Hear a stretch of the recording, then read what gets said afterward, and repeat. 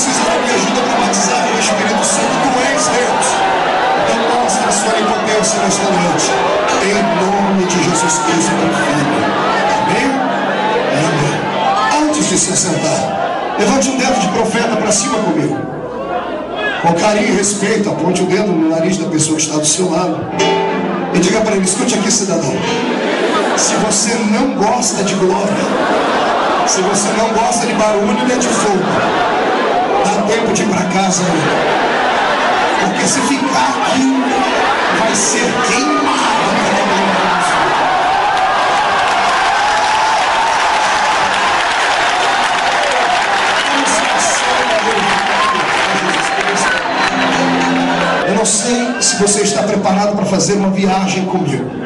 É uma viagem só de ida. É uma viagem onde nós vamos caminhar pelo tapete da revelação de Deus. O poder de Deus é uma realidade. E é uma questão de sobrevivência espiritual. Quem quer sobreviver comigo, que tenha liberdade hoje para deixar Deus te pegar dentro deste lugar.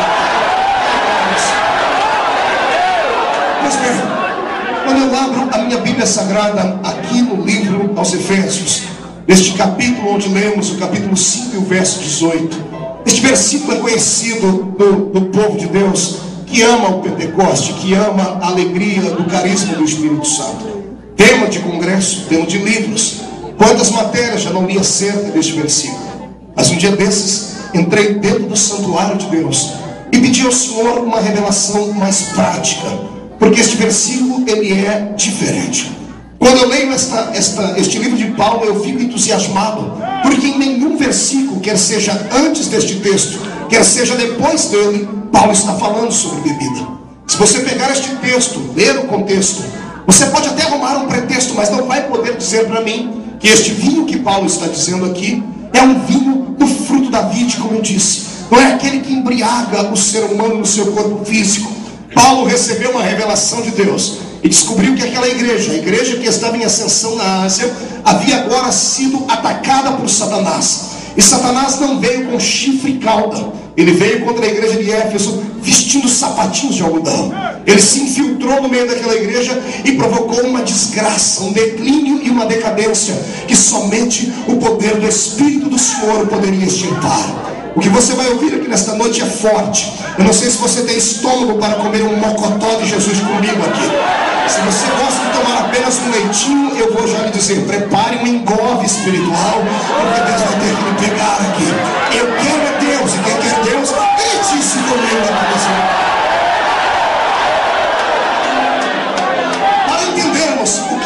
apóstolo estava ensinando a esta igreja, eu tenho que lhe convidar a voltar no tempo comigo alguns anos anteriores à escrita deste livro. Numa época linda, uma época em que a igreja do Senhor era uma igreja menina, porque estava ainda florescendo na terra. Eu acredito que a igreja vivia logo nesses anos a sua adolescência espiritual. Pelo que leio a Bíblia Sagrada, essa história de ajuntamento de povo e trazer um evangelista de longe ou de perto para pregar não é invenção nossa. Imagine você que naquela época já havia congressos e trabalhos de avivamento. Atos capítulo 19 é o resumo de uma festa dessa. Paulo estava agora na terceira maior cidade da Grécia antiga, que era a cidade de Corinto. Corinto era um palco da revelação de Deus. Sempre que eu leio a história da carta aos Coríntios, eu fico imaginando como era esta igreja. Imagine você congregar em uma igreja onde para você profetizar tinha que pegar uma senha, onde para você profetizar você tinha que esperar uma fila de centenas de profetas, pastor Marco. Era uma igreja tão viva, tinha tanta unção que Paulo teve que dar duas cartas a dizer, irmãos, todo mundo pode profetizar, mas por favor, espere, cada um ao seu tempo. Imagine você entrar numa igreja onde todo mundo é canela de fogo, onde todo mundo entra no reteté de Jesus. Ai, meu Senhor, é uma igreja muito parecida com o ministério apacentário aqui de Damasco. Congresso agora estava pré-estabelecido. Como o Senhor tem me dado uma graça para contar histórias, deixe-me envolver você nessa história. Eu quero convidar você para participar de um congresso comigo na igreja de Corinto, aqui em Atos 19. Imagine você receber lá na sua igreja, quer seja em Colosso, Tessalônica, Jerusalém, Antioquia, não importa em qual congregação você estava, a carta chegou lá e o convite era este: venha comemorar conosco mais um ano da igreja de Cristo na terra. E o congresso este ano será em Corinto, a igreja do avivamento. Ah, Jesus! E detalhe, você vai vir e vai ouvir os maiores preletores do nosso tempo. Imagine, se você leu aí no outdoor da cidade, ouviu no rádio, que o pastor Marques está pegando aqui, esse rapaz lá da vila da Cuba, essa voz ser ela taquara, achar que de vez em quando é chato e galocha, e você veio. Imagine se você recebesse em casa um convite de uma carta dizendo assim, venha ouvir Pedro, Paulo, venha ouvir João, venha ouvir Apolo ministrar no seu aniversário, meu Deus do. A igreja de aniversário do chão. E um dia, pastor Marco, eu comecei a imaginar como era a festa daquela igreja. E cheguei à seguinte conclusão. De manhãzinha, o anfitrião já avisava lá, nós teremos dois cultos na parte da manhã. O primeiro culto será dirigido pelo nosso irmão Cefas. Cefas é o nosso irmão Pedro. Eu imagino o pastor dando o currículo dele. Pedro foi aquele que arrancou a orelha de Malco, que pulou em cima das águas. Foi aquele que negou Jesus. Ele não gosta que a gente conte essa história, mas foi isso que deu vida a este homem. Ele agora não é mais aquele Pedro afoito, ele agora está um pouquinho sério. Então a igreja, por favor, não se escandalize com o jeito de Pedro pregar. Vamos ouvir o nosso irmão Cefas pregando. Imagina o Pedro subindo na tribuna, olhando para aqueles crentes que estavam nascendo agora, e como ele conhecia o poder do pecado, o poder de ser um homem decadente, Pedro luta contra isso, assim, amados. Eu tenho uma palavra para vocês que não sei se vocês vão gostar. Deus não quer pecado, Deus não quer uma igreja mundana, porque esta terra que agora existe não mais existirá. Em breve, os elementos desta terra ardendo em fogo se desfarão, porque o Senhor dará sua palavra de juízo contra esta terra. Você ver Pedro falando contra pecados grosseiros como adultério, fornicação murmuração e coisas mais. Eu tenho certeza que depois de uma hora e meia ouvindo Pedro, a igreja estava em silêncio. Mas não era um silêncio de repúdio, era um silêncio de temor, porque a palavra pregada na autoridade, ela causa temor no coração do povo. Eu abro parênteses e peço a você que ore comigo por esta nação, para que Deus levante homens que tenham a qualidade, a coragem de Pedro, para falar em palavras verdadeiras, não a quem doer, custe o que custar,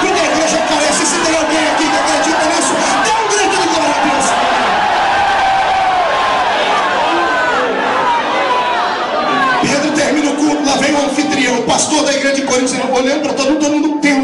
O povo não consegue nem respirar dizendo, irmãos, calma. Esse é o estilo de Pedro. Deus deu a ele uma unção a lá João Batista. É por isso que ele prega assim. Mas fique tranquilo, quem vocês vão ouvir agora, eu acredito que vai quebrar esse gelo. Vamos ouvir agora o nosso irmão João, que já foi pastor ali em algumas cidades, que andou ao lado de Jesus. Ele tem uma palavra para vocês. Imagine vocês aquele homem com aquele olhar dócil, um homem santo, um homem sensível. Era tão sensível que enquanto as pessoas só se saciavam pegando na mão de Jesus, ele não, ele queria botar a cabeça no peito de Jesus. Era alguém muito gracioso, era alguém muito delicado pelo poder de Deus. E lá vem João, ele pega o microfone, olha para todo mundo, está todo mundo tenso e diz: Amados, Cefas tem razão. Se pecarmos, não veremos a Deus. Se pecarmos, nós seremos destruídos pelo fogo. Mas eu tenho uma palavra para vocês, filhinhos, não pequeis. Mas se pecares, temos um advogado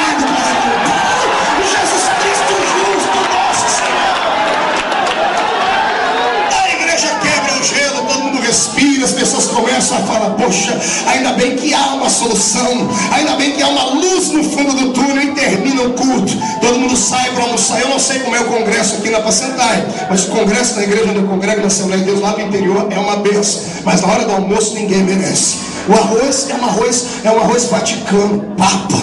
É um arroz espécie de arroz carnavalesco, em bloco. Só o sangue de Jesus de Nazaré. Não bastasse o arroz ser desse jeito, ainda tem que aguentar aquela carne ensopada com batata e aquela salada de repolho que não pode faltar. Eu dou glória a Deus porque tem a Coca-Cola para ajudar a descer, né? Imagina você, todo mundo comeu aquela gororoba santa, mas ninguém está nem aí para comida, porque o povo foi lá se alimentar de outro tipo de comida, e essa outra comida Ah, chegamos no culto à tarde, todo mundo olhando para o cronograma da festa, assim: quem será que vai pregar? Lá no cronograma tem um ponto de interrogação. E o, pastor chega, irmãos, nós hoje nós vamos ter dois pregadores à tarde. Será apenas um que vai ministrar para nós aqui pelo menos quatro horas. Quero que vocês recebam agora com muita alegria o nosso irmão Paulo de Tarso. Ai, Jesus. Quero que você veja aquele gigante de um metro e meio de altura. Calvo. A cabeça gigantada, quem que ele era manco da perna e ainda tinha problema nas vistas. Lá vem aquela figura de Jeová. Todo mundo secando, mas esse aí é Paulo. Esse aí é aquele que está sintetizando a fé cristã, é o filósofo da fé cristã. Aí as pessoas começam a dizer, olha, não, dá, não, não olhe para a aparência dele, não. Porque a embalagem, ela está mentindo. O conteúdo é muito melhor. Lá vem Paulo sem esboço, está todo mundo esperando que ele venha com esboço. Ele disse, não, irmãos, meu esboço está aqui. Ele diz assim, eu quero que vocês se segurem. Imagina Paulo dizendo, apertem os cintos, porque aquilo que os olhos não viram, aquilo que os ouvidos não ouviram, aquilo que não subiu ao coração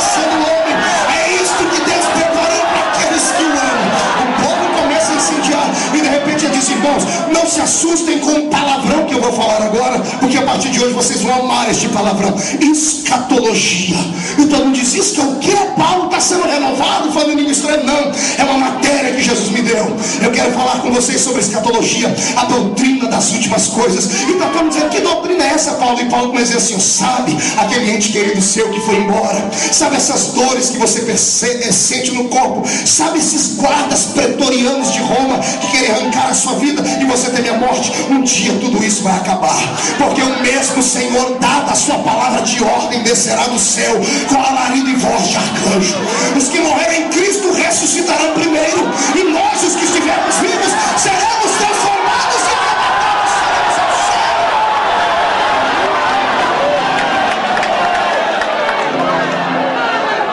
E Paulo começa a ensinar a facção bíblica da escatologia, dizendo sobre o anticristo, sobre o filho da iniquidade. falando para as igrejas não temerem a morte, porque havia coisas grandes que viriam pela frente. Paulo cria tanto no que ele pregava, que ele se incluiu na mensagem dizendo assim: ó, os mortos ressuscitarão primeiro, mas depois nós. Incluiu, ele achava que Jesus voltaria naquela época, não voltou, mas a qualquer dia desse ele vai voltar. E se ele voltasse nessa noite, pastor Marco, e dessa igreja aqui, daqui de dentro e de fora, só duas pessoas fossem arrebatadas, uma era eu, quem era a outra? Deixa eu ver.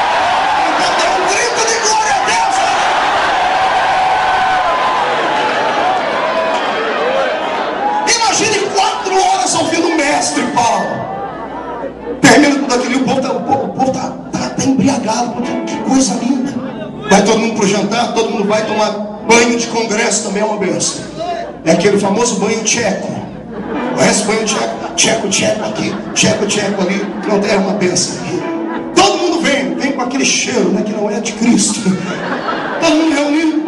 E fomos para o culto à noite. O anfitrião está alegre assim, amados. Quantos gostaram de ouvir Pedro? A igreja, amém. E João, amém. E Paulo, amém. Diz agora o que Jesus preparou para o final da festa. Eu não sei como é que vocês vão voltar para casa. Imagina até Paulo dando um pulo atrás da cadeira. Esse cabra é bom porque até eu gosto de ouvir ele. Vamos ouvir agora Apolo pregar. Ai, Jesus de Nazaré. A Bíblia não fala nenhum sermão dele, mas para o camarada receber um elogio de Paulo, é porque o camarada era bom. Imagine Paulo falando sobre ele: olha, não há ninguém como Apolo, mestre nas palavras, dono de uma oratória precisa e que tem uma unção fabulosa. Amados, se todo mundo já estava cheio, quando este Apolo foi pregar, eu imagino o que aconteceu lá o que vai acontecer daqui a pouco aqui nessa igreja. Pessoas incendiadas, arrebatadas, saltando, falando em línguas estranhas, profetizando, agarrando o diabo pelo chifre, esfregando a cara dele no chão e indo ao encontro da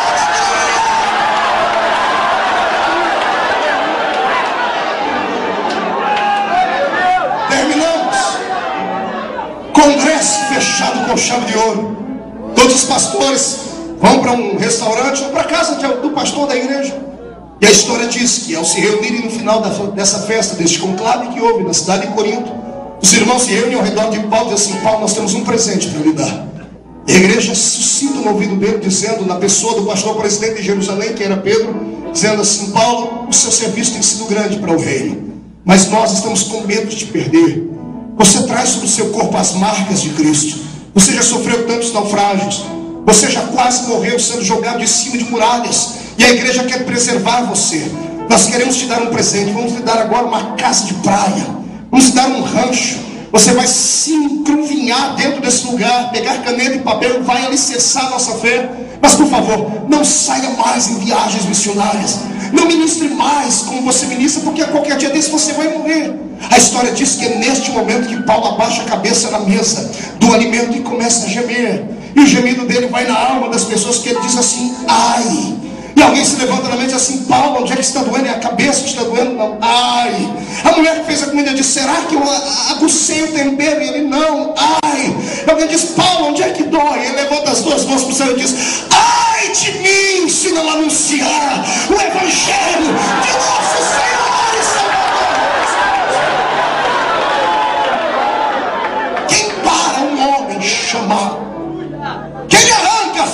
de um avivamento? Quem é que pode se levantar e roubar o dom que Deus te deu? Me faça essa resposta, se é que você pode. Quem é Satanás para achar que pode servir de barreira entre você e a bênção? Eu quero que esses demônios saibam nessa noite que se se meterem com você, vão se meter com gente de fogo. Eu profetizo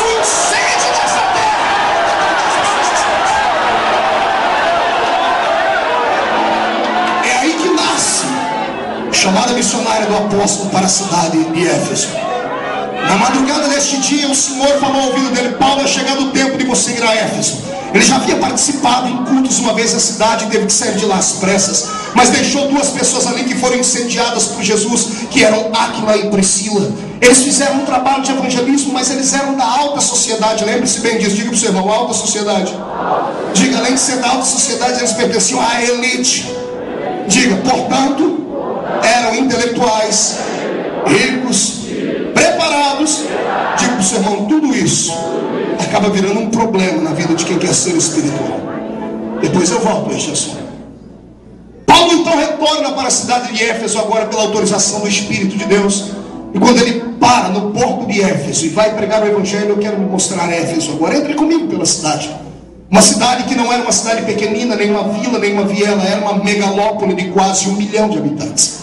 Um milhão de homens e mulheres dotados de uma beleza incomum. Nasceu na cidade de Éfeso o culto e adoração à deusa da beleza e do amor, que era Diana, a Diana dos Efésios, Afrodite para alguns. Estava alicerçado naquela cidade uma das sete maravilhas do mundo antigo, que era exatamente o templo da pseudo-deusa Diana.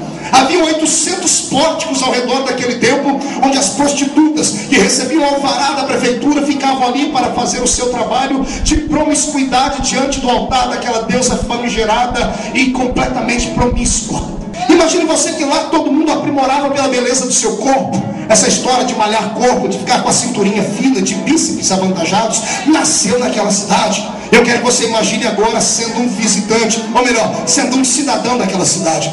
Imagine você habitar numa cidade com um milhão de homens e mulheres extremamente belos. A beleza grega é reconhecida pelo mundo todo. Tanto é que quando alguém quer falar sobre beleza, diz aquele homem parece um deus grego. Aquela mulher lembra uma deusa grega. Por causa disso, eles eram belos, que ainda faziam por ódio. Imagine você andar numa cidade onde os homens eram uma mistura de Brad Pitt com Arnold Schwarzenegger. Altos, fortes e com aquele rostinho de bebê. Imagine você também que as mulheres eram uma mistura de Naomi Campbell com Gisele Bündchen. Ah, uma coisa. E agora teve gente que viajou, né, irmão? Vai orando aí, filho. Imagine aqueles homens e mulheres andando. A cultura deles era assim: eles usavam aquelas roupas brancas, os homens andavam com as roupas sobre, sobre o seu braço aqui, com aquelas florzinhas aqui do lado da sua, do seu rosto. Eles andavam com espelhos, alguns chegavam a olhar, eram narcisistas ao extremo. Aqueles homens bonitos, aqueles peitos para cima, aqueles rostos viris, aquelas mulheres então estonteantes, vindo por um lado da rua e do outro lado da rua vem o nosso amigo Paulo, um metro e meio de altura, careca, manco de uma perna, meio cego dos olhos. Só Jesus para ter misericórdia.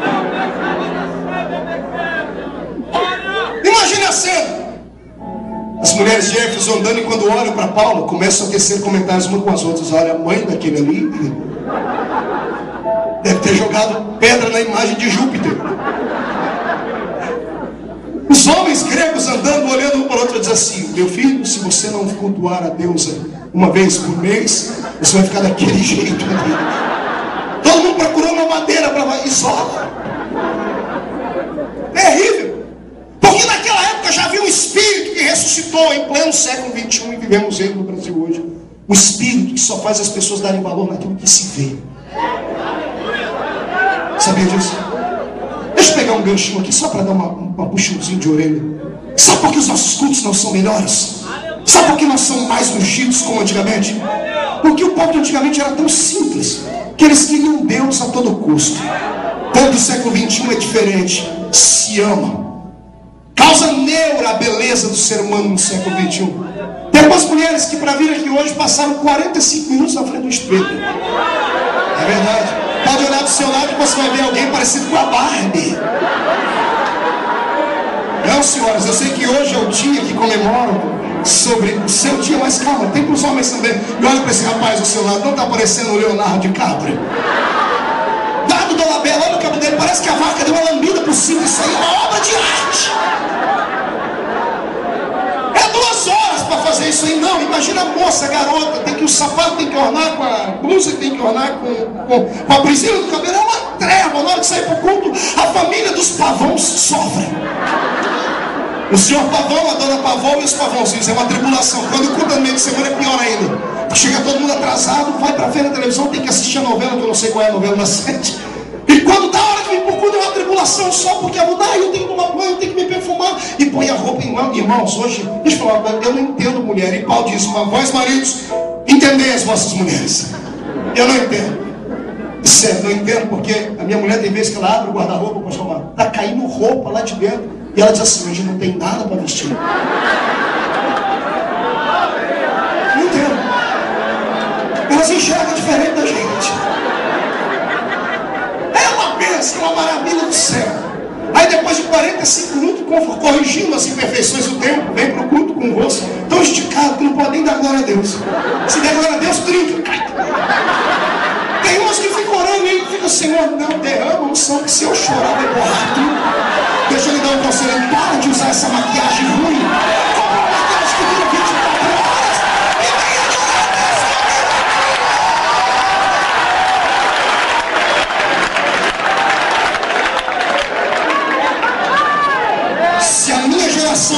Cuidasse da sua alma como cuida do seu corpo, nós teríamos homens, teríamos homens e mulheres alterofilistas espirituais. Eu vejo isso num grande exemplo bíblico, numa história tão bela que até as crianças sabem, Davi e Golias. Golias era alto, imenso, um homem de quase 3 metros de altura, que com certeza já malhava o seu corpo, fazendo levantamento de peso. Era muito forte, por isso todo mundo temia. E de repente lá vem uma outra pessoa que quem olhava para ele disse assim, esse aí, o único peso que levanta é o garfo. Porque deve ter uma barriguinha saliente. Todo crente abençoado tem uma barriguinha saliente.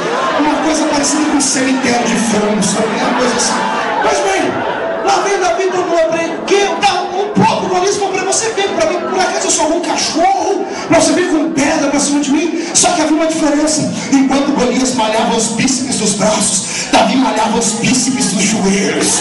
Botava o joelho no chão e ele tinha outro exercício. Ele exercitava a sua alma cantando e adorando a Deus. Ele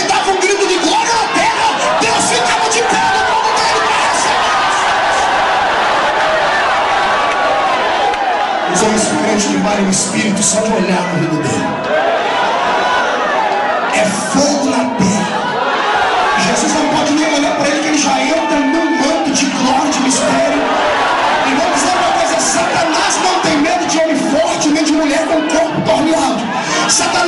Respeita as curvas do seu corpo, a silhueta do seu corpo, a beleza dos seus olhos, o perfume que você usa. Satanás não respeita os seus músculos, os seus bíceps, mas ele é obrigado a se curvar diante de um crente tocado da graça.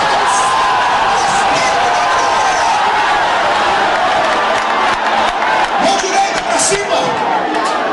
Com carinho no ombro do irmão que está do seu lado, com carinho.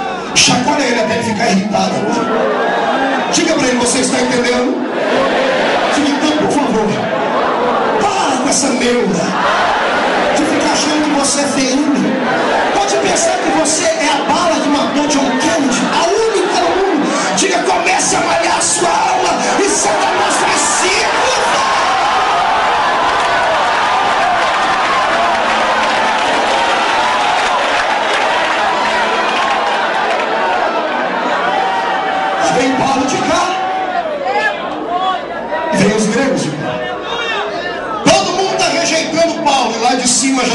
céu se abre. Alguém debruça sobre ela, olha para baixo. Chama os anjos. Chama o restante da trindade. Vem, vem cá, todos. Dê uma olhadinha lá embaixo. Olha o meu modelo fotográfico. Meu Deus tem negócio com aquele que não é nada. Meu Deus tem um projeto para aquele que é tido como um lixo. Se tem uma coisa que Deus gosta nessa terra é de encontrar alguém que é rejeitado. Se tem uma coisa que Jesus sempre amou é chamar os inválidos, porque meu Deus é um Deus de desafio. Ele pega o lixo e transforma em vai se ver com você. Pastor Marco, eu não sei o que vai acontecer em Nova Iguaçu por esses dias, mas eu sei que Satanás vai arrumar a mala dele, os terreiros de Macumba vão se ver, porque para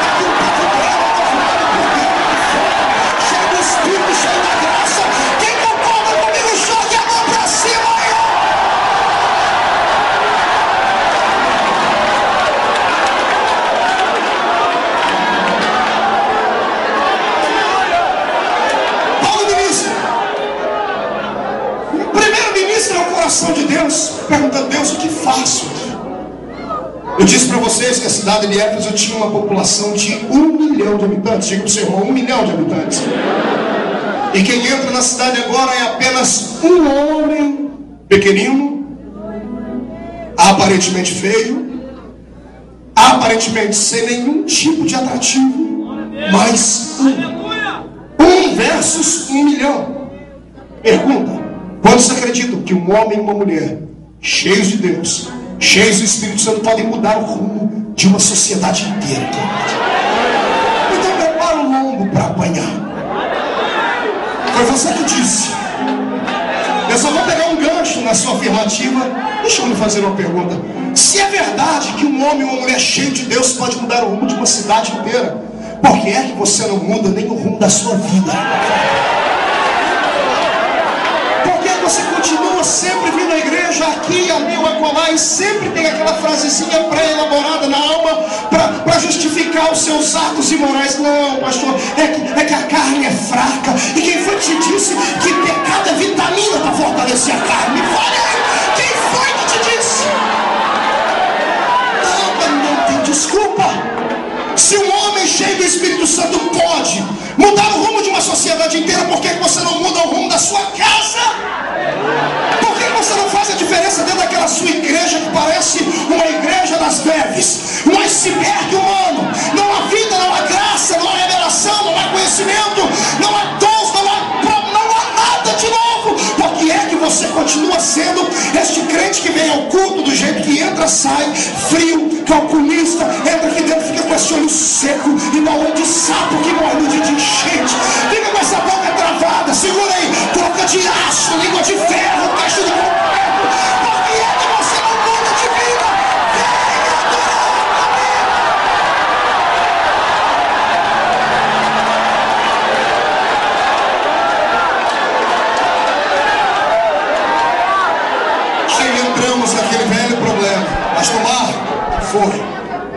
senhor está sendo indelicado comigo. Eu quero encrencar com você.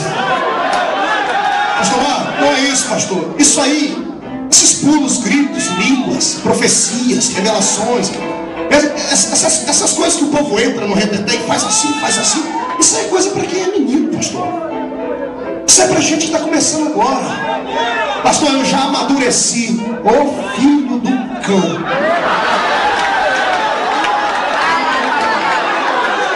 Você não amadureceu porcaria nenhuma, você enferrujou.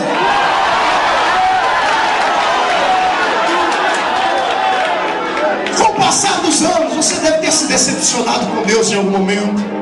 Você deve ter sofrido um desgaste espiritual com estas vidas, com as coisas, ou melhor, com a vida que leva, com a vida dentro da igreja, com as perseguições. Não suportou, não teve caráter para enfrentar o diabo de frente, não teve força suficiente para atropelar esses homens e mulheres que são coveiros dentro da igreja, que cavam buracos para sepultar talentos. É por isso que você se esfriou. Deus, essa noite, manda dizer que Ele vai derramar uma missão de óleo nas suas.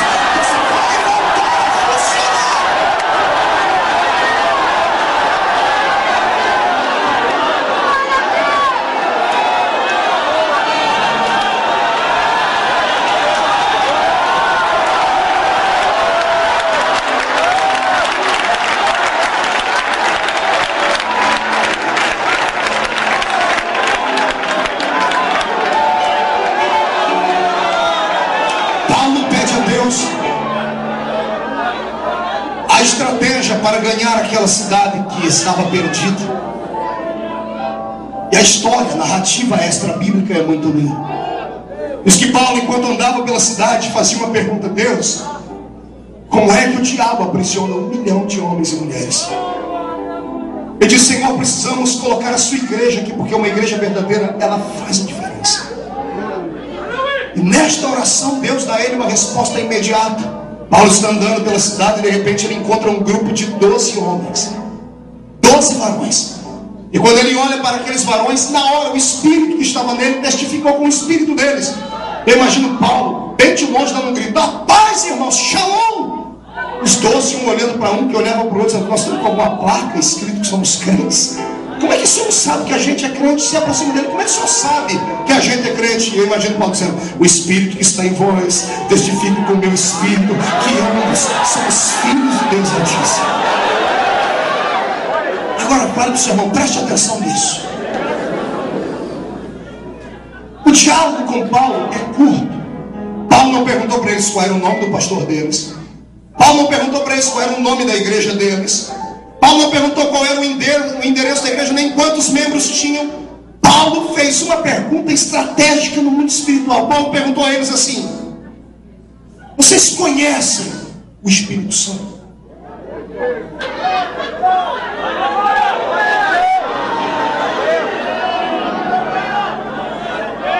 Os doze travam, param, um olha para o outro e diz assim: Como é que é Espírito? O quê? Espírito Santo diz: Não, a gente é batista. Não, não, não, não estou falando mal, não, está na Bíblia. Disse, não, nós só fomos batizados no batismo de João. João era batista.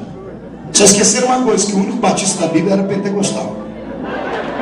Ele diz: Eu, João Batista, batizo com água. Mas vem um rei que vai batizar com o Espírito Santo. É ofensa. Não me entenda mal. Disseram, olha, na nossa igreja não nos ensinam isso. A nossa fé, eles eram homens da elite, mas que estavam acostumados com a sua igreja pequenina e medíocre. Estavam acostumados a ter um evangelho egoísta, uma transformação somente pessoal e inferior. E eles não tinham nenhum atrativo para que as pessoas olhassem para eles e desejassem ser como eles. Por quê? Porque quem discipulou os dois foi exatamente Priscila e Áquila. Priscila e Áquila pertenciam à nobreza dos gregos. Passando por ali, ministraram ao coração deles, mas não falaram sobre a efusão da glória. Eles se converteram porque a palavra tem poder, ela transforma. Uma vez perguntaram para mim, pastor, todo mundo vai para o céu, quem fala em línguas e quem não fala, quem é frio e quem é quente, todo mundo vai para o céu, quem crê nos dons e quem não crê, eu digo, é claro que vai todo mundo para o céu se estiver dentro dos parâmetros da Bíblia. Os carismas não impedem o homem de ser salvo e também não ajudam ele a ser salvo. Não é porque eu falo em línguas que vou para o céu e o irmão que não fala em línguas não vai, não é nada disso. Aí um dia mandaram um e-mail para mim, pastor, se todo mundo vai para o céu, então por que, que eu vou ser pentecostal, ficar igual um doido na igreja, pulando, o povo olha para mim, vê até minha goelinha balançando na, na boca. O povo fala que nosso Deus é surdo, isso aí às vezes é vergonha, pastor. Digo, ei, calma, a diferença não está aqui. Eu acho que a diferença vai estar quando chegarmos do outro lado. Vou explicar para vocês. Imagine aquelas pessoas que não creem nos dons, não têm atitude de buscá-las, quando chegar no céu, vão tomar um susto. Tem dificuldade em crer em visões, lá vai estar assim de anjo. Cavalos de fogo correndo de um lado para o outro. Minha Bíblia diz isso. Não acredito em línguas, vão chegar lá, vão ver todo mundo falando em línguas. Vai ser uma dificuldade. Não gostam de muito barulho. Lá o céu não é lugar de silêncio. É grito e glória céu. Vou te explicar qual é a diferença. Até eles acostumarem com o ambiente, vão 5 mil anos. Diferente do povo dessa igreja, quando chegar lá, a gente já vai estar acostumado com o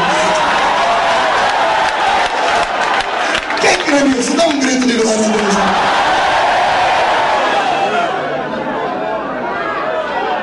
Vocês conhecem o Espírito Santo? Não, a gente nem sabe que existe ele. Eu imagino Paulo olhando para o céu e dando uma gargalhada. Aquela gargalhada de, de, de, de, de, de gozo, de satisfação. Paulo está satisfeito com o quê? Ele tem a resposta do céu. Porque é que Éfeso era aprisionada por Satanás. Tinha uma igreja naquele lugar, mas que não fazia diferença. Tinham crentes naquele lugar, que eram bonitinhos, eram belos, eram crentes sociais.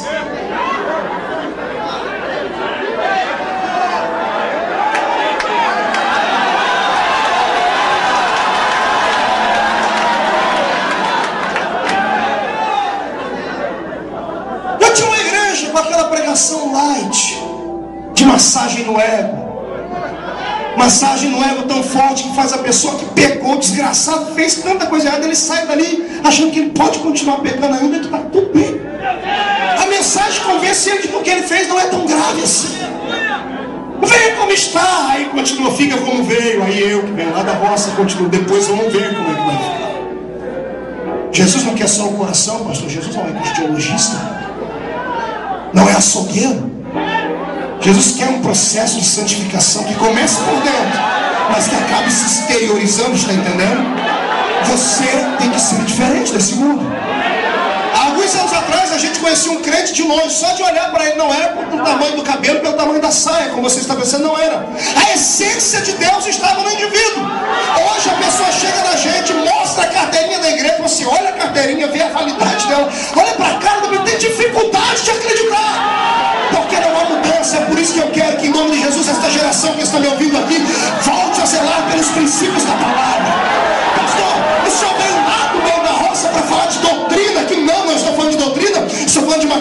Mais forte, com respeito, estou falando de vergonha na cara.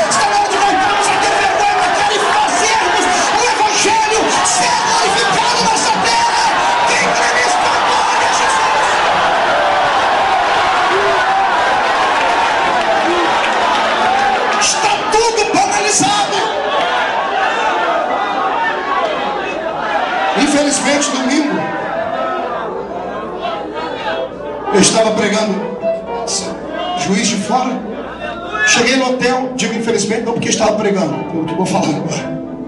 Liguei a, a televisão estava passando o programa lá do Gugu e pegou justo na hora. Tinha uma mulher lá, não vou dizer o nome por ética. Ela estava olhando para o Gugu e perguntou, Gugu, qual é a cor do papel higiênico que você usa? O povo quer saber qual é o perfume. E ela aborrinhou tanto ele, que ele olhou para ela e disse assim, e como é que é a sua igreja? Ela engasgou, ele disse, você vai na igreja? Eu disse, vou, sete e meia. Ele falou, olha, eu vou ter uma conversinha com o seu pastor, da televisão brasileira, para pelo menos 20 milhões de pessoas verem. A pessoa diz que é crente, fala que congrega na mesma igreja que a gente, envergonha o Evangelho de Cristo. Eu não estou falando sobre salvação, estou falando sobre testemunho. Sabe que nós precisamos deste Brasil, nós não precisamos de mais intelectuais dentro da igreja, nem de pessoas ricas, ou, ou artistas, ou, ou, ou, políticos, como nós pregamos, não. Nós precisamos que os crentes voltem a andar pelo eixo, voltem a ter vergonha, voltem a saber onde é que o seu pé pisa, onde é que a sua mão toca, onde é que os seus olhos olham. Está na hora das irmãs da nossa igreja darem uma olhadinha no seu guarda-roupa, sim, reverem como é que estão as coisas lá. Está na hora das pessoas voltarem a ter pelo menos pudor. Do Espírito Santo entrar dentro de um lugar como esse e encontrar com facilidade um vaso que ele possa usar.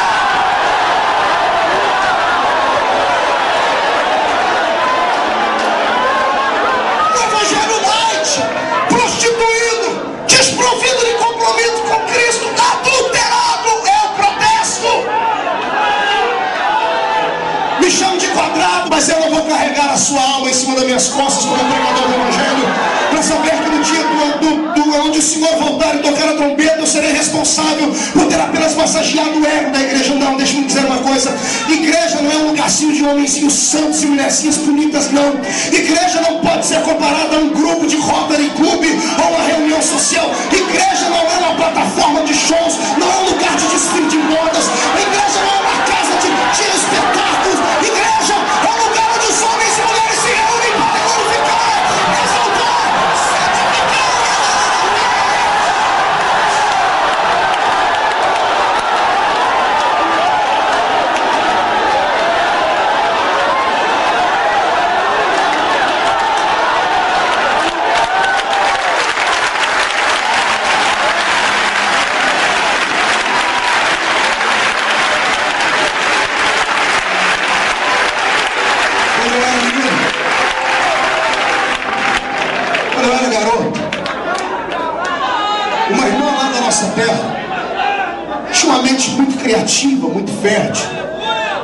uma história, eu nunca mais esqueci.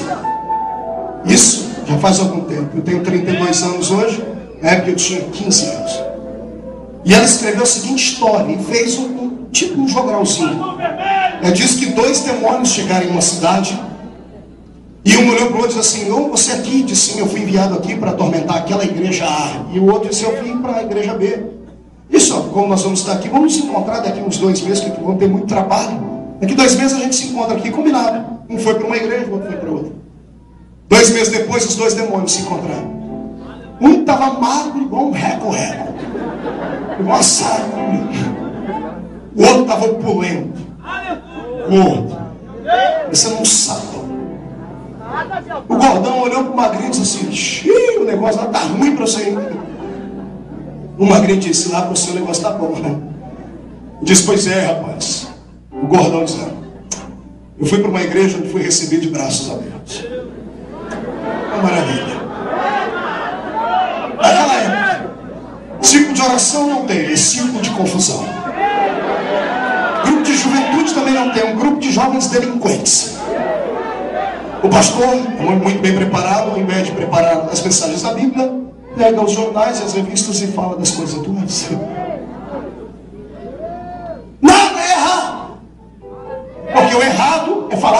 Erradas. Foi recebido de aplausos, sentei-me na tribuna do púlpito e ele sentou no meu colo. O magricela baixou a cabeça e disse, e você? O gordão falou, e você está com magrinho? Rapaz, eu fui para uma igreja lá no meio do mato. Que não prestou, rapaz. Eu olhei para aquela igreja cair nos pedaços aqui, vai ser fácil entrar.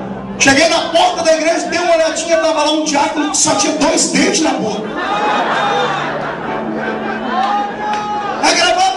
Por cima da barriga, assim, aquela bíblia rosa do lado, e ele estava, glória a Deus. Esse aí vai ser fácil. Rapaz, eu tentei entrar. Esse homem não falava português direito, uma coisa, ele deu uma rajada de.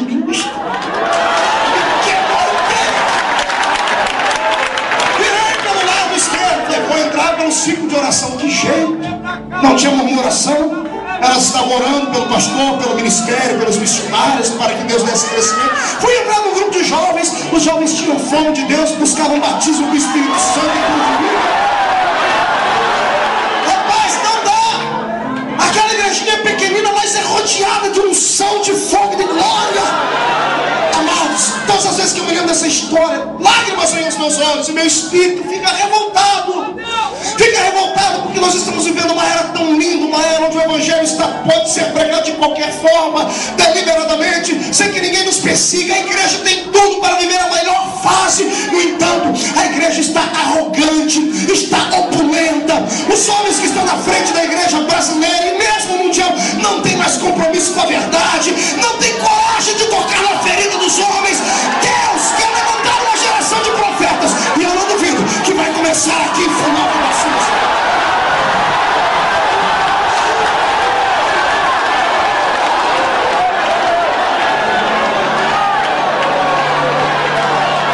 basta ter números, não basta ter aplausos dos homens, não basta ser reconhecido pelo governo, receber comendas.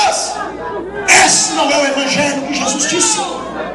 Jesus nunca disse no mundo os homens vão bater nas suas costas e vão gostar do seu estilo de vida. Jesus nunca disse, olha, você vai receber comendas, você vai sair na primeira página do jornal, receber uma coroa e aplausos dos homens dizendo, é o homem mais lindinho do mundo, porque se converteu. Não, Jesus disse, no mundo tereis aflições. Eu me irrito quando vejo igrejas pregando o evangelho vazio de, de santidade. Pessoas pregando um céu na terra colocando Deus na parede, dizendo: se Ele é Deus, Ele é obrigado a dar. O infeliz que inventou isso tinha que tomar um cascudo, tinha que tomar um couro de vara. Como é que Deus é obrigado? Deus não é obrigado a nada. Se Ele der,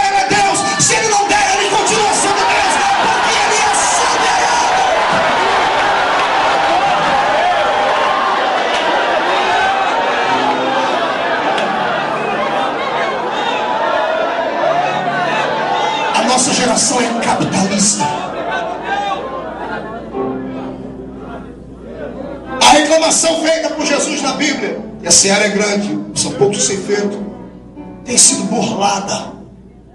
Burlada porque ninguém mais é consagrado porque tem unção, porque tem chamada. É consagrado porque tem um costa quente do seu lado, porque o seu dízimo é alto, porque tem um anel de formatura, porque é belo. Infeliz chegou ontem só porque foi ex qualquer coisa. Ele é ex-parente do homem que abriu a porta para descer a atriz que fez o filme O Vento Levou, de um milhão de anos atrás. Só porque é ex, qualquer coisa já vem direto para a tribuna, pega o microfone para pregar. Aí o filho que nasceu na igreja, trata da casa, que sobe o monte para orar, que leva uma consciência com Deus, leva a correntada na cabeça quando se alegra no espírito. Está na hora de mudarmos essa situação, mas isso só mudará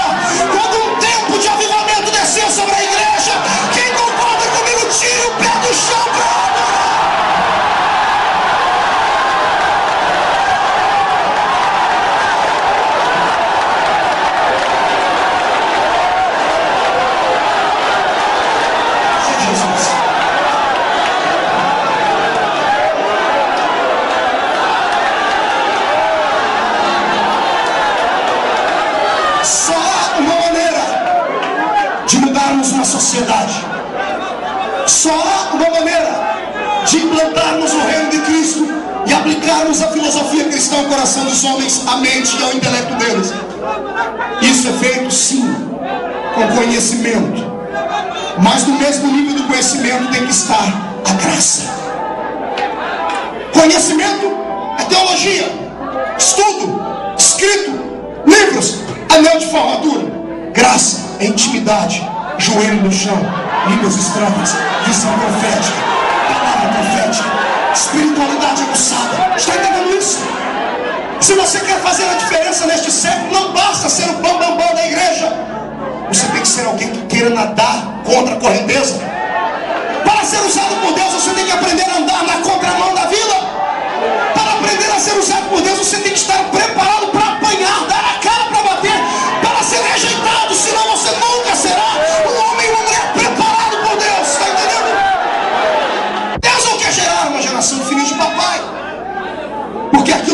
custa nada, não vale nada. Está ouvindo isso? Grave isso que não custa nada, não vale nada. Se você quer ser alguém usado por Deus, leia a biografia dos heróis da fé.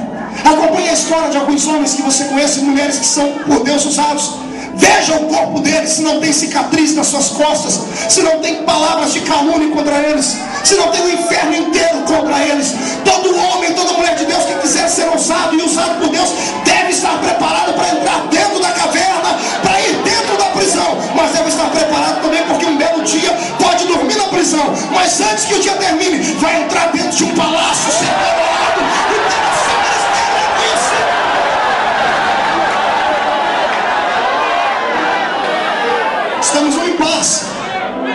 Um milhão de habitantes. Um baixinho de um metro e meio. E doze homens só vivendo da filosofia cristã.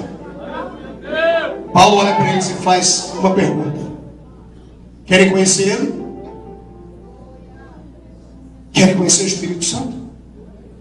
Porque Ele pode mudar a nossa vida. Os dois concordam, queremos. Como é que a gente faz? Onde é que a gente vai para conhecer ele? Aqui mesmo. Eu não tem que ir lá dentro da igreja. Não, não, aqui mesmo. O que, é que a gente faz? Dobra o joelho nos doze. E aí Paulo faz uma coisa que todo crente no Espírito Santo deveria fazer todos os dias. E repartir a experiência que tem. Liberar a unção que está dentro de você. Amado, um homem uma mulher cheia do Espírito Santo, ele é uma ogiva nuclear condensada. O poder que você vê acontecer na igreja é pequenino diante daquilo que pode acontecer. Eu provo isso usando Atos capítulo 2, eram quase 120. No dia de Pentecostes, 2 milhões de judeus dentro daquela festa, 14 nações representadas debaixo do sol. Era tanta gente, 2 milhões de judeus dentro de Jerusalém, fazendo festa, cantando, bailando, dançando, cambiando, vendendo, orando, consagrando, é, sacrificando. E um grupo de quase 120 trancado dentro de uma casa. Quando Deus liberou uma unção sobre eles, a casa ficou pequena para eles. Como é que você acha que os homens viram e falaram que eles estavam bêbados? Eles ficaram tão cheios que aquela casa não coube a unção Deus. Tiveram que abrir janela e porta. Saíram para as ruas e detalhe. O grito de quase 120 homens e mulheres parou o barulho de 2 milhões de pessoas que estavam do lado de fora. Eles liberaram o potencial do Espírito que estava dentro deles. Está entendendo isso? Se você soubesse o tamanho da unção que está dentro de você, amado. Se você soubesse o que é capaz de acontecer quando você começar a gritar, a orar, a dar palavras de ordem, a marchar, a usar a palavra profética, a usar atos proféticos, a estender a mão sobre os enfermos, a ordenar os demônios que se mudem. Se você soubesse o tamanho da unção que está dentro de você, você não ficaria mais sentado e não voltaria para casa andando, Spiel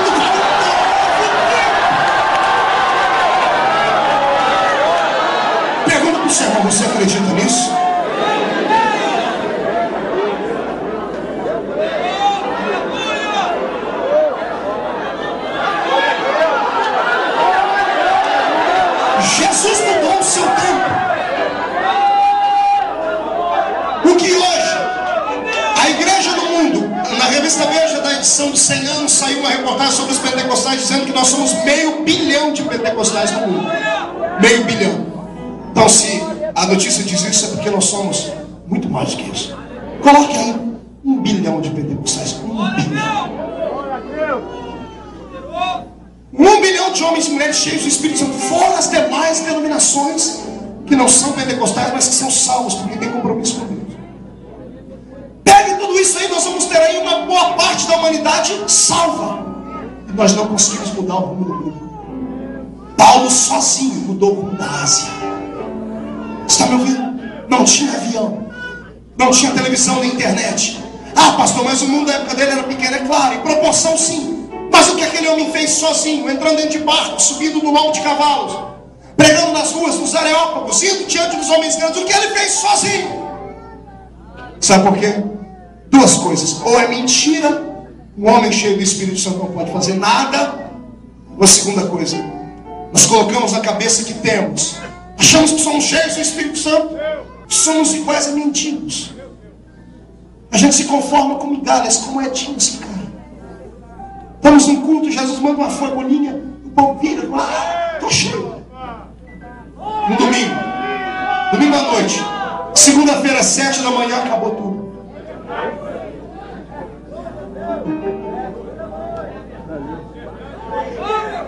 O Espírito Santo nessa noite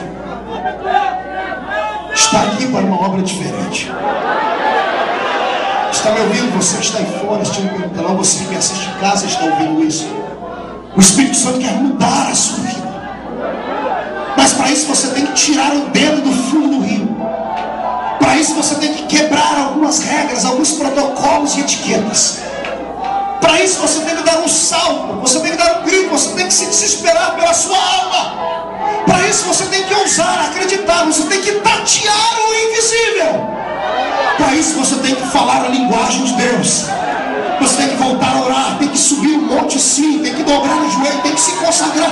Para isso você tem que se desligar da terra. Quem conseguir fazer isso será o homem e a mulher que vai fazer esse Brasil. Será uma nação próspera diante do Senhor dos Exércitos. Quem nisso melhor? Quem se candidata a isso, dê um grito de glória.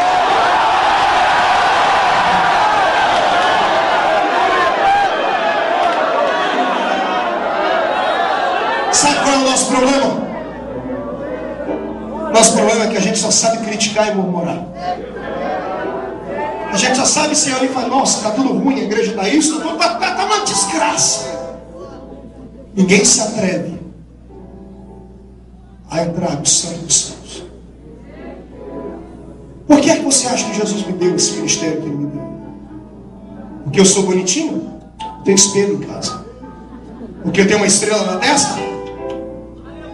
Porque eu tenho alguém influente por trás de mim que me projetou? Porque eu ousei sonhar e acreditar. E sempre fui valente. Valente não significa que você é poderoso. Valente significa que mesmo sendo fraco, você tem coragem de lutar pelos seus sonhos.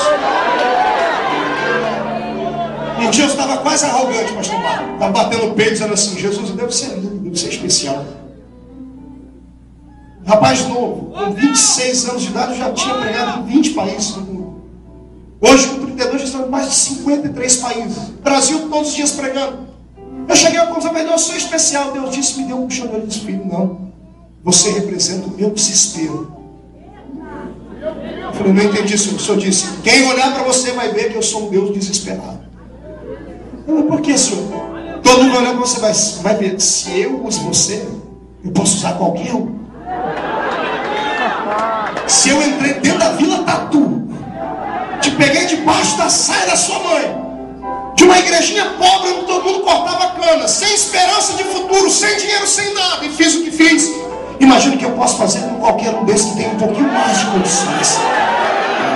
Ei, o céu é o limite para aqueles que querem uma vida diferente. Você tem duas opções essa noite: voltar para casa, pegar os pavãozinhos, a dona Pavoa, sentar na mesa do café da noite agora, no, no, na sopinha, assim: olha que lindo. Poxa, que maravilha, como fala aquele menino. Olha. E amanhã você voltar a levar uma vida comum, rotineira, corriqueira, vazia de Deus, arriscando a sua salvação todos os dias.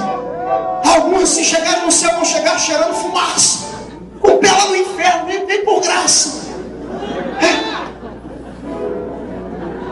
Ou você pode ser uma pessoa que hoje, pelo menos hoje, vai entrar dentro de casa e dizer assim: hoje eu não durmo enquanto Deus não me der algo novo.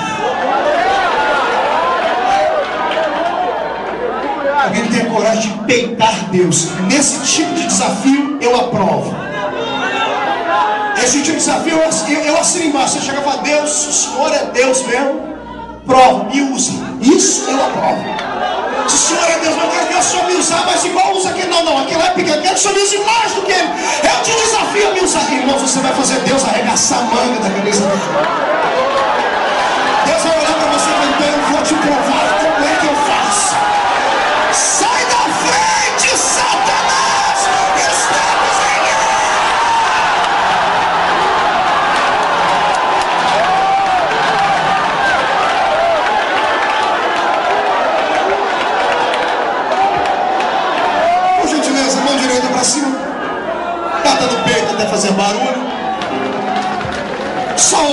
Cima, olhe para o irmão do seu lado e diz assim: Eu não sei você.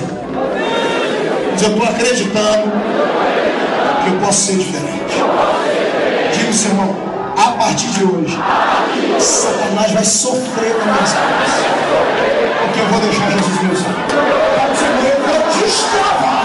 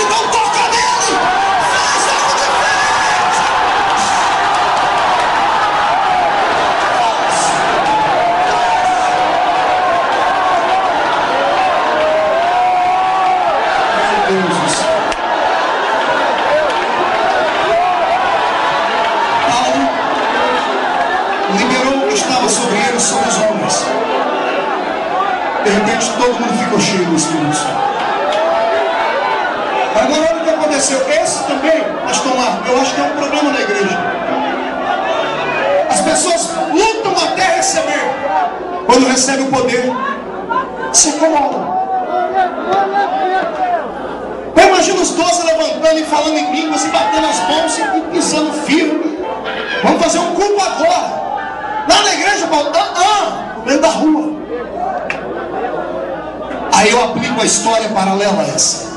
A história paralela a essa diz que Paulo, no dia que orou por esses doze homens, havia no centro de Éfeso uma apresentação de bruxos, uma apresentação de feitiçarias.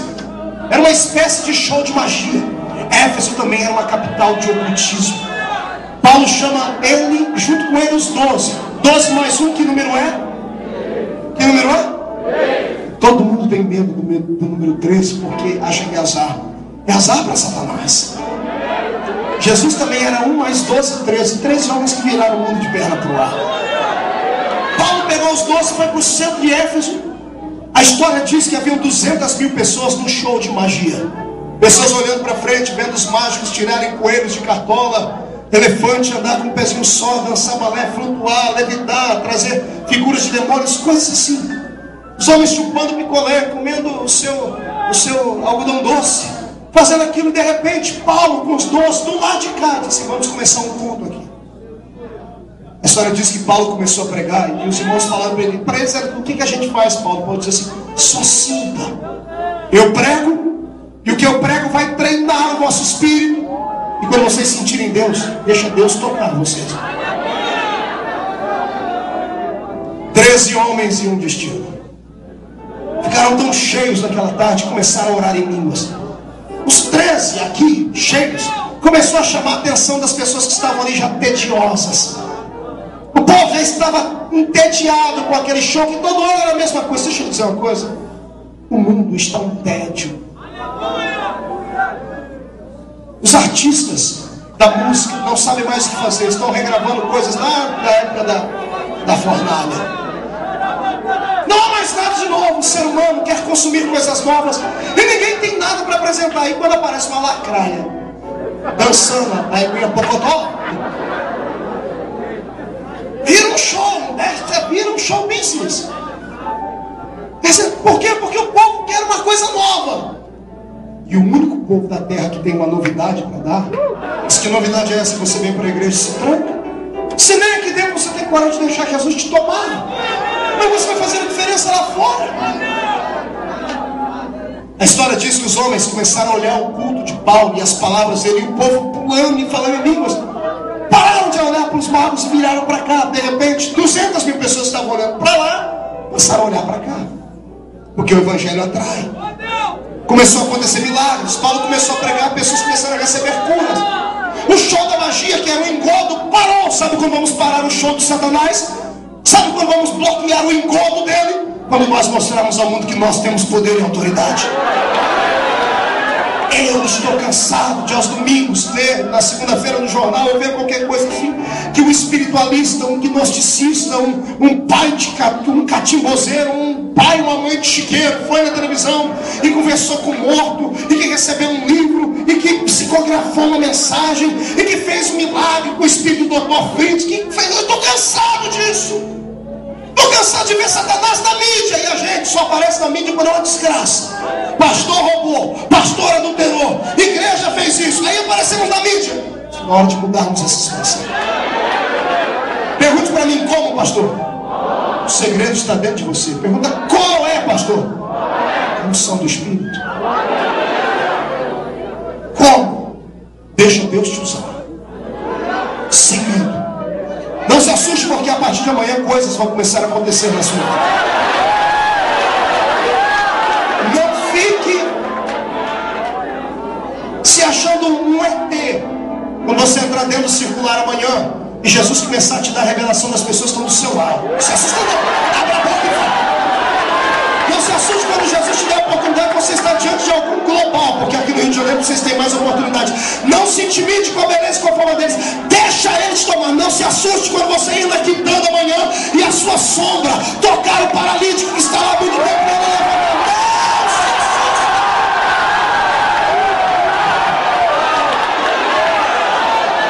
Você quer isso?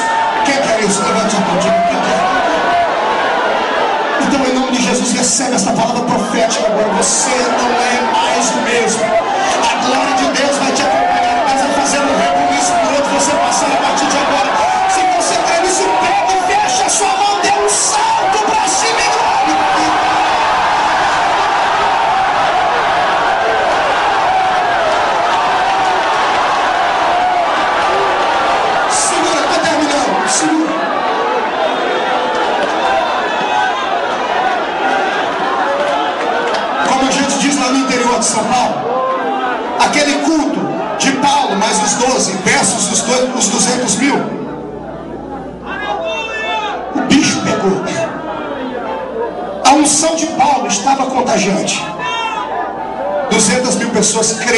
no que Paulo pregava. A situação ficou tão estranha que os bruxos pararam com a bruxaria e vieram ver Paulo. A história diz que o líder dos bruxos daquela cidade rompeu a multidão para ver o que é que estava acontecendo do outro lado. E quando ele chegou do outro lado, ele viu Paulo pregar. Ficou irado. Ele desafiou Paulo, pobrezinho dele, desafiaram o Deus verdadeiro. E o Deus de Paulo respondeu por fogo. O bruxo caiu em processo, Paulo orou por ele e ele foi liberto. Quando ele foi liberto, como ele era o líder da comunidade de macumbaria, de ocultismo da cidade, ele deu um grito. Eu quero que tragam aqui agora no centro de Éfeso todos os livros de feitiçaria todas as formas de encanto. Isso está em Atos capítulo 19, leia em casa, você vai ver.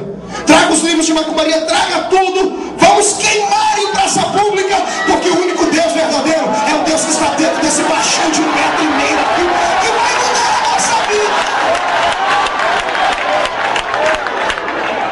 Prepara o espírito, porque agora vamos chorar. Querido, eu quero agora o solo mais melancólico que você tem. Aquele quando você está triste. Remessa. Olha para cá. A cidade estava alicerçada. Mudou o ritmo da cidade. O templo da deusa Diana desaparece da história. Ninguém sabe por quê. Até hoje a ciência, ou melhor, a arqueologia e a história tentam explicar como é que a sétima, uma das sétimas maravilhas do mundo antigo desapareceu da história. Como é que o templo da deusa Diana ficou, virou, virou frangalhos, esmiuçado. E por que, que essa deusa deixou de ser adorada? Porque um homem de um metro e meio entrou dentro daquele lugar cheio de Deus. Nasceu ali a maior igreja que o mundo daquela época havia conhecido. A igreja de Éfeso foi uma igreja tão grande, tão poderosa, tão próspera, que ela sustentou em épocas difíceis a igreja de Jerusalém e outras igrejas mais.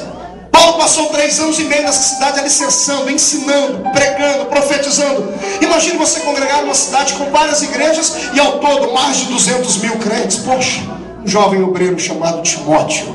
Diga para o seu irmão, Timóteo. Timóteo tinha 22 anos de idade. Ele havia caminhado ao lado de Paulo, ele era discípulo fiel, havia aprendido tudo com Paulo. E ele começa a pregar na igreja, começa a ensinar, dar continuidade no que Paulo vai. A igreja vai prosperando, vai entra por um ritmo muito lindo. De repente, Paulo está aprisionado em Roma. Seu ministério vai estar se acabando. A igreja de Éfeso sofreu um ataque de Satanás. Porque como o diabo mandava naquela cidade, e ele foi expulso de lá, o diabo tem um dom que os homens não têm, o dom da paciência. Ele sabe esperar. E como ele viu que não adiantava mais ir de chifre e cauda, porque todos os crentes aprenderam a expulsar os demônios, como ele viu que não podia mais enganar as pessoas desse jeito, ele arrumou uma outra forma de entrar lá dentro. Sabe o que ele fez? Ele foi lá na adega do inferno, abriu a, a sua chave e pegou vinhos que estavam guardados lá dentro. Vinhos com rótulos escritos: murmuração, adultério, arrogância, presunção. Colocou gravata borboleta nos seus demônios. Eles pegaram bandejas de pratas, taças com vinhos que causavam contenda. Este é o vinho que Paulo viu. Não era um vinho feito na terra, não, era feito no inferno. Sabe qual foi o pior pecado daquela igreja? Pergunte para mim, qual foi, pastor? Arrogância. Como ficou uma igreja grande, todo mundo dependia dela. Os crentes andavam por aquelas ruas de cabeça erguida, empinado, nariz empinado. Nenhuma igreja mais prestava. Só deles era certo. Os mais velhos da igreja, quando viram um garoto de vinte e poucos anos, mas cheio do espírito na frente da igreja, quiseram arrancar ele. Fizeram um motim contra o pastor Timóteo. Disseram que não queriam mais ele. A igreja estava agora com espírito de facção. Estar na igreja agora não era uma necessidade da alma, era status. Era conveniente. Fala para mim se às vezes não acontece isso com a gente.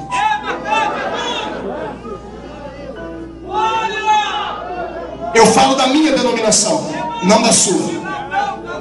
Falo aqui como falo em qualquer lugar, não tenho vergonha, não tenho medo. A minha igreja, a qual eu pertenço, passou por três grandes fases. A Assembleia de Deus. A primeira fase é a fase da perseguição. Oh, fase que linda.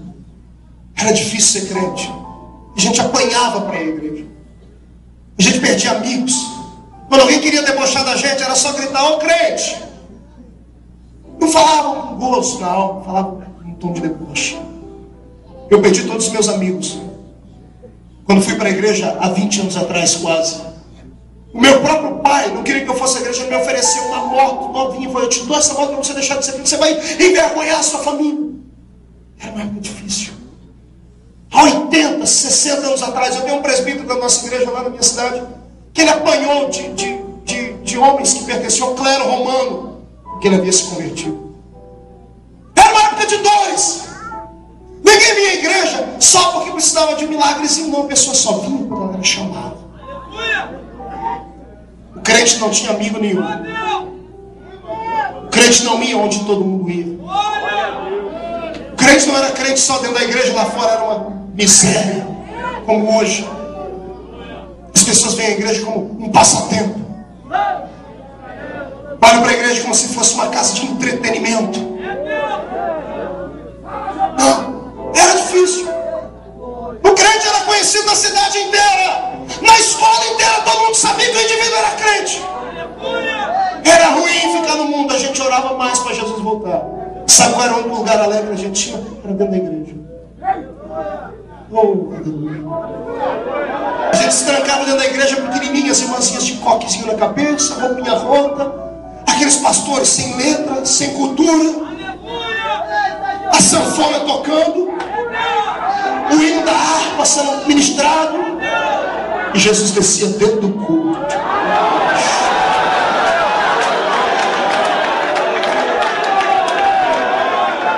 Éramos perseguidos. E a perseguição faz crescer. A perseguição é como se você pegasse uma clara de ouro e batesse nela. Vamos você bate mais volume dá. A igreja cresceu. Passamos para a segunda fase. Nós, de perseguidos, passamos a ser imitados. Todas as demais denominações que nasceram por aquelas épocas se espelharam na minha denominação. Esse cumprimento, a paz do Senhor, a paz, shalom, nome, nasceu com a gente. Os hinos da harpa, todas as igrejas comungavam eles. Grupo de senhoras, grupo de jovens, corais, isso nasceu com a gente. Todas as igrejas tinham. Porque de perseguidos, a beleza era tão grande, passamos a ser imitados. Quando passamos a ser imitados, pecamos. Aí começamos a bater no peito, somos a maior denominação do mundo. A maior igreja. A maioria dos pastores da minha igreja são arrogantes. Olha as pessoas de cima para baixo. Acham que são donos da habilidade. Só a igreja deles presta. Acham que o Espírito Santo é uma exclusividade deles. Acham que a verdade só está com eles. E se tem uma coisa que Deus não dá é a sua glória para ninguém. Aí, de perseguidos e imitados, declinamos e passamos a imitar todo mundo. Fazemos reuniões, fazem muitos nós já precisamos mudar a liturgia do culto. Precisamos mudar isso, mudar aquilo. Por que será? Ah, pastor, porque os tempos mudaram. Não! Porque estão embriagados com o vinho da arrogância, da presunção, da prepotência. E não é só a minha denominação, outras também que já são grandes por aí, que ontem precisaram da gente para comprar um canal de televisão. Pediu oração, mas não vamos comprar um canal para a gente pregar nele.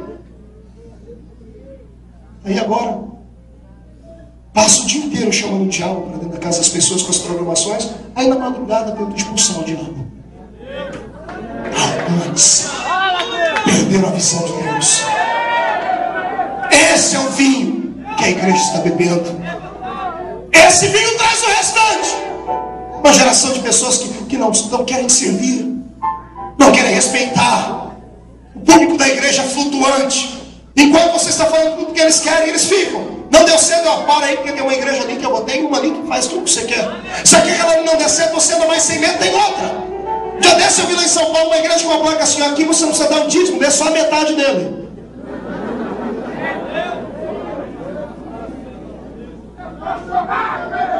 A igreja para tudo quanto é tipo e gosto. A igreja está arrogante.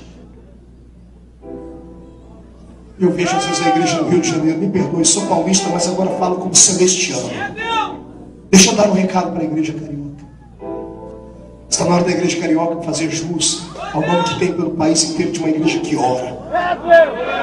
O Brasil inteiro conhece a igreja carioca como os crentes que sobem o monte. Gente de unção de revelação. Eu participei de um congresso há pouco tempo aqui, todo mundo disse: o Rio de Janeiro é do Senhor Jesus, quem manda no Rio é Jesus. É mentira! Quem manda no Rio é Fernandinho Beramar, dentro de uma prisão.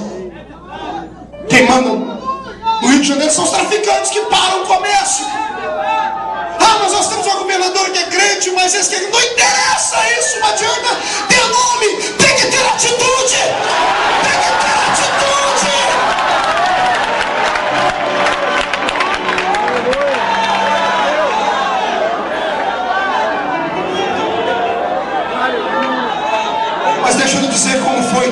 Trouxe milagre para Éfeso. Timóteo rejeitado entra no seu quarto de oração e ora pensa em abandonar o ministério. Se você é líder de alguma igreja, está sofrendo pressão de Satanás, não ceda. Não ceda. Seja valente. Vá até o fim. Morra, mas morra com dignidade.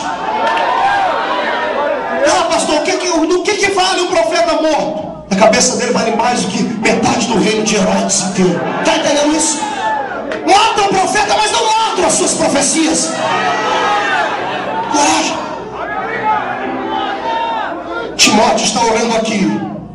Acompanhe comigo agora que você vai subir no céu. Timóteo está orando aqui em Éfeso.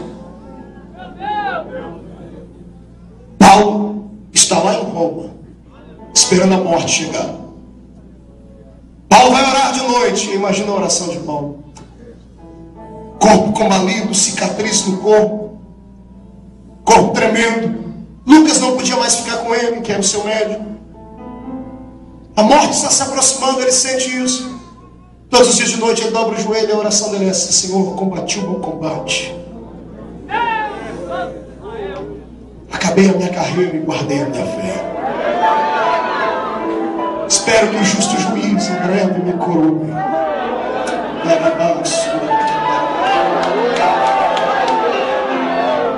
A tradição diz que Paulo estava orando. Quando a voz de Deus entrou dentro do caso e disse: Paulo, pois não, Senhor. Paulo lembra de Timóteo? Lembra, meu filho amado, ora por ele. Está desanimado. Estou querendo tirar ele da frente do trabalho, de Éfeso? Sim, senhor. Éfeso está bêbada. Os crentes estão embriagados com o pecado. Arrogantes. Por causa da riqueza da cidade. Por causa dos megatempos. Por causa do conhecimento. A igreja está bêbada, Paulo. Imagina o Paulo desesperado, falou, Senhor, o que, que eu faço? Eu estou preso aqui dentro. Paulo, pega uma caneta. Escreve a receita para curar essa doença na igreja. Paulo pega uma caneta e um papel e escreve essa carta. Paulo está escrevendo, eu imagino dizendo, Senhor, eu escrevo, mas quem é que vai levar? É longe, não conheço mais ninguém. Você diz, faz a tua parte que a minha faço eu. Faz. Faz a tua parte. Faz a tua parte. A carta estava pronta, um mês a carta na mão de Paulo pronta. De repente, Paulo recebeu uma visita inusitada dentro da cadeia de Roma. Chega um próspero comerciante de madeira da cidade de Éfeso chamado Tíquico. Tíquico era presbítero da igreja. Tíquico chega e diz: Paulo, fui fazer um carregamento de madeiras e descobri que você estava aqui, vim lhe ver. Quando Paulo olha para ele e falou: Você é típico, você é aquele que se converteu naquele dia, no meio daquelas 200 mil pessoas, sou eu, Paulo. Você é de Éfeso, sou. Foi Deus que te mandou. Por que, Paulo? Porque Deus me deu uma visão da igreja. Aqui está a receita. Leva. Leva, aplica a receita na igreja. A igreja precisa ser curada. Leva, entrega na mão do pastor. Diga que não tem nem mais o que conversar. Ele sobe no trote no seu cavalo, vai para o porto, pega um navio e depois de quase dois meses ele chega lá em Éfeso. Nesse período, Paulo já está condenado à morte. A história diz que semanas depois arrancaram a cabeça do profeta. A carta chegou na mão de Timóteo. Timóteo estava desanimado. Imagina Timóteo abrindo a carta tremendo. E tipo dizendo: Olha, o apóstolo mandou. Receber uma carta daquele homem era como receber uma carta de Daniel Berg com Narvinger, fundadores da Assembleia de Deus. Era como receber cartas de, de homens porque a gente sempre se espelhou. Imagina você receber uma carta de Paulo. Tremendo, ele abre a carta e Paulo começa a dizer: Calma, a igreja de Cristo. Depois que ele lê a carta, ele marca um culto especial. Notícia esparrama em Éfeso, vem gente tudo quanto é lugar. O apóstolo mandou uma carta. As pessoas sentiam saudade de Paulo. Juntou aquela multidão. Timóteo começa o culto. Mal canta um hino, já diz, irmãos, deixa eu ler a carta porque é cumprida. Imagina você sentado no meio daquela multidão e ouvindo Timóteo lendo a carta aos Efésios. E ele vai lendo. Cada palavra que Timóteo lia, com voz embargada, fazia com que a igreja se sentisse pequeno, com saudade do seu mestre que havia lhe ensinado. Imagina os mais velhos dizendo assim: que saudade de Paulo, é ele mesmo que escreveu, ele pregava desse jeito. Nós não podemos abandonar os marcos antigos estão. O homem que não se lembra do seu passado, que esquece as suas raízes, ele não é digno de viver. Inclina a sua cabeça. Timóteo está lendo a carta. Quando chega lá no capítulo 4 e 5, Paulo começa a revelar aquilo que Deus diz ainda. Existem adultérios dentro da igreja. Murmurações dentro da igreja. A igreja é a noiva do Senhor. Não pode ser maculada. A igreja está arrogante, presunçosa, pretensiosa, precisa mudar de vida. As pessoas estão de cabeça baixa como você está agora, estão dizendo, poxa, como é que ele sabe disso? O Espírito Santo vem na ouvido e diz assim, fui eu que revelei a ele. Aleluia, e de repente, Timóteo dá um grito, com a voz embargada grita, e assim escreveu Paulo, não vos embriagueis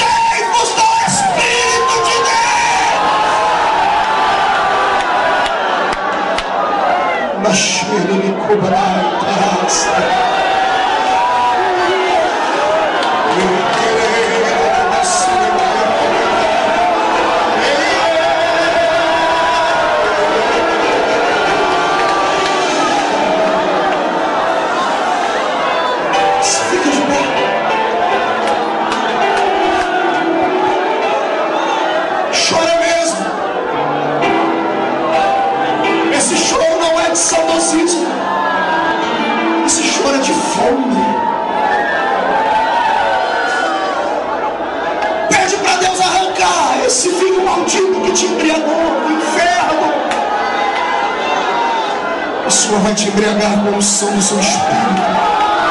Você que me assiste aí pelo telão. Você está aqui dentro, pegue no braço do seu irmão.